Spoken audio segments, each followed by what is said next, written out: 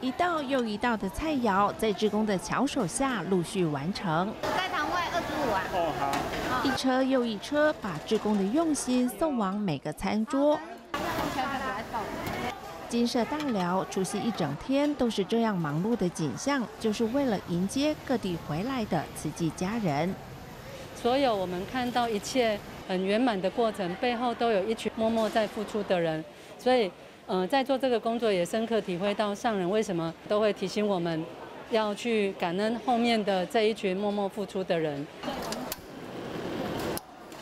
除夕夜一起吃团圆饭，领受上人的祝福。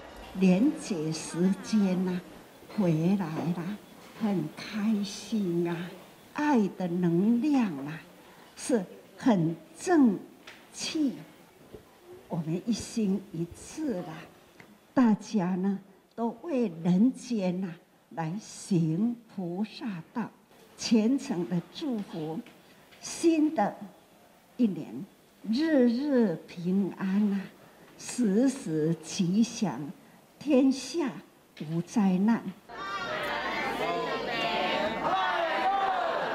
不少海外职工距离上一次回到心灵故乡已经相隔三年，内心相当激动。看到上人，他现在身体很好，做弟子的就是天天祈求上人法体安康。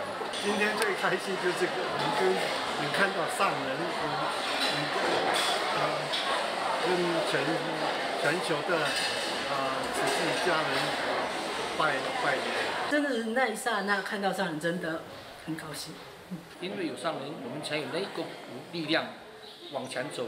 所以每次我们以前在每次回来的时候，实际上我们去帮当成一种加油。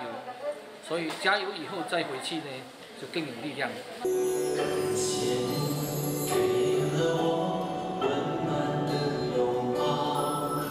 围炉后的晚会活动，由菲律宾的孩子用手语演绎心中的感动；莫桑比克和辛巴威的孩子，则是用戏剧呈现志工无微不至的关怀，让他们能在台湾安心学习。声声祝福，如同他们说不尽的感恩。